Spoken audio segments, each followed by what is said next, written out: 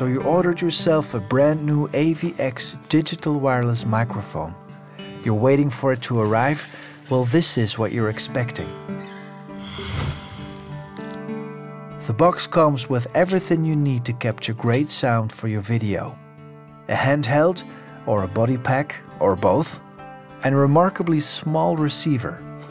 Now, whichever recording device you want to use, simply hook up the AVX receiver with the XLR or with the XLR adapter for DSLR. There's one to mount it, there's another one to go from XLR output to mini jack. Don't worry, they both come with the box. Only thing left to do? Switch on receiver and transmitter and wait for the green light. Right, testing. One, two, one, two. That's pretty much it. Just plug it in, press the button, wait for the green light, and go for it.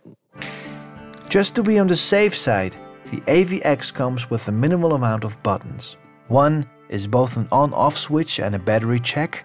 The second button is for pairing up both receiver and transmitter, and the last button is to regulate the AVX's output level. Now on this last button, the AF out switch, as some recording devices are more sensitive than others, this button gives you a chance to match the outgoing audio level of the AVX to the sensitivity of the device of your choice. You normally have to set the AF out only once. Hello? Unless you want to use the AVX on different devices Hello? with different sensitivities. Hello.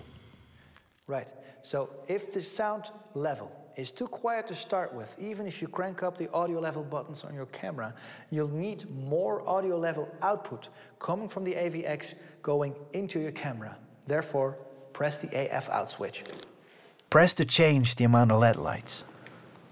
Now I'm on four, and as you can hear, I got a bit too much now. It's distorting, so I'm toning it down to number three. Three is still quite a lot. I guess I'll have to go to two. Two sounds good. Two. Hello, testing. Testing. Two is what we want. If you're on a DSLR, set the audio recording settings in the menu to manual. Record on 3 quarters of the scale and check the audio with your headphones. Right. And if you're in the process of AF out switching, be careful with your ears because the steps are quite big. And once your output is regulated, you should be able to record silent sound, Hello, hello. Silence.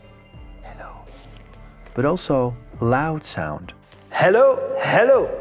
in a blink of an eye in perfect condition. Hello! Bottom line, Hello! don't just trust the meters, Yeah. but use your headphones Hello! and let your ears judge the sound. Hello! Hello! Yeah. Let your ears do the judging. That love it.